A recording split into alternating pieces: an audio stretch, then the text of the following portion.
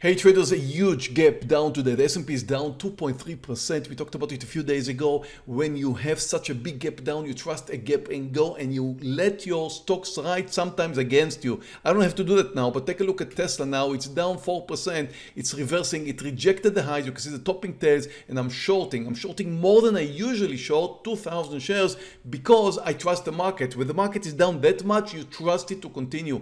Now, NVIDIA, same idea. This stock is down 4% and I'm about to to short 4,000 shares, nice reversal shorting here. Now I go all in when I have an opportunity like this and it rarely comes. Baba is down 5% and I'm shorting here. And uh, again, it's a nice technical reversal and I'm short 4,000 shares. I expect a new low and I expect a continuation from the market and therefore from the stocks that I'm trading. Microsoft is down 2.4%. I'm shorting 4,000 shares here.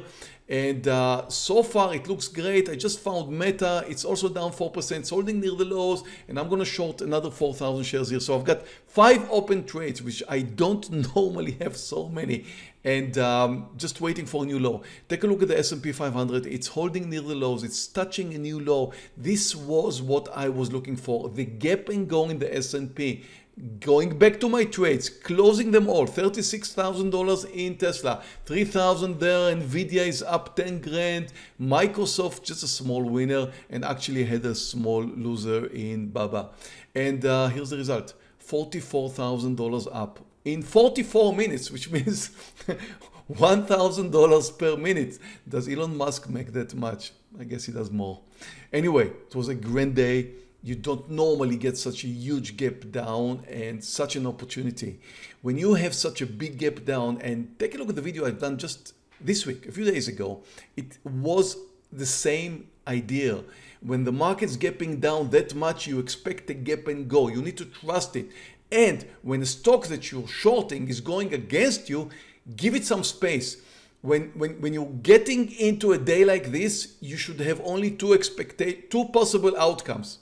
One is a huge winning day and the other one is a huge losing day, but it's more likely to be a huge winner. That's my strategy anyway on days like this. Thank you very much for watching. Give me a like if you like this video and subscribe right over here and hit on the notification bell if you want to be notified of my future uploads and many many links right here below if you want to trade the same platform I'm trading. Start with the demo because trading is extremely hard and my performance is usually better than new traders. Please remember this, trading is very, very hard. Most traders are losing money. Thank you very much. See you in the next video.